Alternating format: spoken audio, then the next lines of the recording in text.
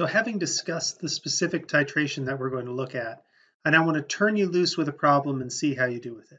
So what I'm going to do is I'm going to give you the setup here and then I'm going to give you as much time as you need to solve the problem. I'd recommend 15 to 20 minutes to get through the whole problem. I've pre-recorded the explanation to get from the initial data in the problem to the very end of the problem so if you get stuck at any point during your work what I'd recommend is you go to the next page in the module look at the explanation look at the discussion of strategy and if you get stuck anywhere see if that gets you over the hump and on to the next step. Then continue to do your work and check in with my other videos to see if you need hints or strategic assistance to get all the way to the end of the problem. Take about 15 minutes to try to work through the whole thing and then have a look at the full explanation for the problem after we go through the problem we'll have one more short lecture today. We're going to introduce how we deal with error in a typical analytical chemistry situation. Take the time and really think through your problem solving approach and how you use the stoichiometry to get the information given to the entire end of the problem. And this problem is going to deal with this potassium permanganate titration and it's going to cover a standardization step and then a titration for calcium using the standardized permanganate solution so we're told that 0.3562 grams of sodium oxalate was dissolved in a 250 ml volumetric flask.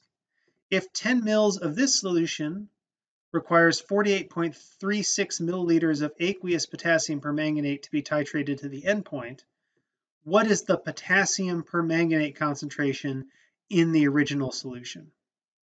All right so this setup describes the standardization. We have an aqueous potassium permanganate solution that we don't know the concentration of. In the real world we'd have a good idea of its approximate concentration because we prepared it. However we need to use the primary standard which is sodium oxalate to establish the concentration of the permanganate in the titrant solution. So that's the standardization part.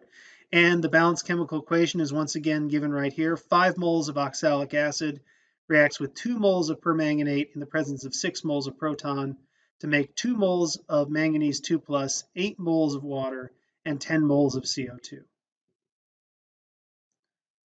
for the second part of the problem we'll get to the actual titration analysis where we're going to determine the, the concentration of calcium in a urine sample. So calcium ion in a 5 mil urine sample was precipitated with oxalate isolated and redissolved in acid. This digested solution required 16.17 mils of the standardized permanganate solution from the first part to reach the endpoint. What is the calcium concentration in the original urine sample? So take your time work all the way through the end of this problem and then check your answer against my explanation on the next slides. If you have any questions as usual I'll be live on zoom during our usual class time so if there was any logic or any strategy that you didn't get in terms of the explanation or is fuzzy to you when you solve a problem please jump into the zoom chat room and run your thoughts by me and we can talk about the chemistry behind the reaction. I'll see you in a little bit